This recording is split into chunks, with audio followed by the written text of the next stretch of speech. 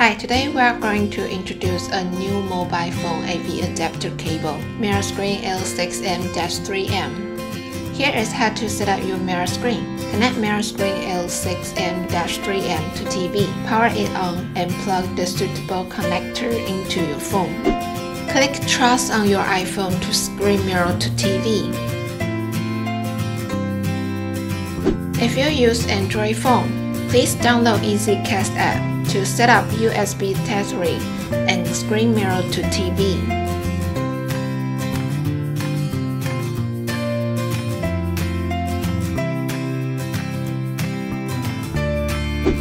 With MiraScreen, you can play YouTube video on the big screen smoothly. Enjoy mobile games on big screen without lag.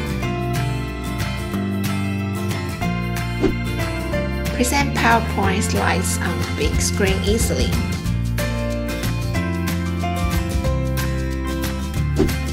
Download EZCast app for keeping your MiraScreen up to date. Here is how to upgrade your MiraScreen.